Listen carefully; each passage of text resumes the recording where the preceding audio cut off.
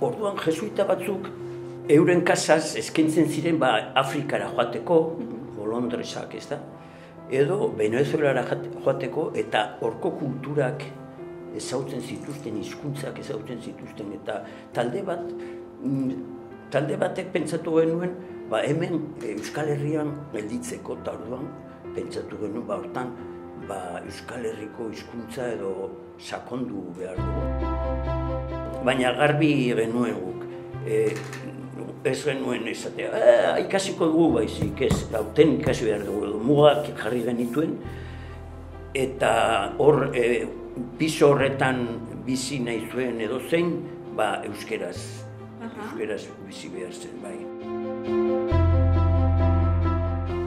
Plazan nengoela, neska bat, eta esan zian, behira, goratzen naiz, lehenengo aldiz, tor, zer egin zenuen, zer ba, esan zian neska, jarri,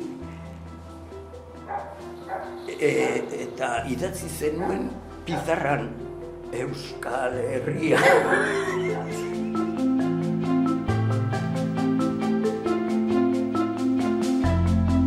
Handitu da, edertu da, maitatua, zintruenigo, korella, e,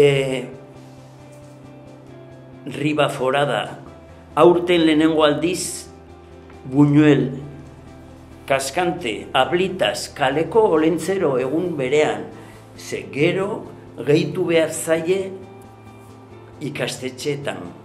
Eta gainera jendea ez da tonta eta esaten du. Pues el Papa Noel viene de más lejos que el olentzero.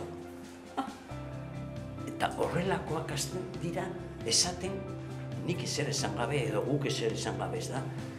Eh, eta jode, si, eh, pro- de- que no viene de, de, de Zarauz o de Azpeitia, o sea, que viene de Lesaca. Mira a ver dónde está Lesaca.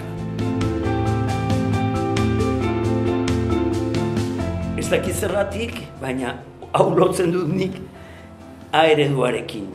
Hombre, A ereduarekin lotzen da alde batetik, ba, ikastetxeetan A ereduarekin lotuta dagoelako. Baina nola, ba, badago ere hizku- eh, hizkuntza eskola, eta gero AEK,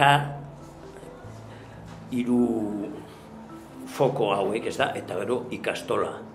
Baina hemen iaia mila, mila umetxo. UPN ez dakit ze galderak egingo duen bere etxean, orain kanpoan egiten duena da urrengo kartela jarri.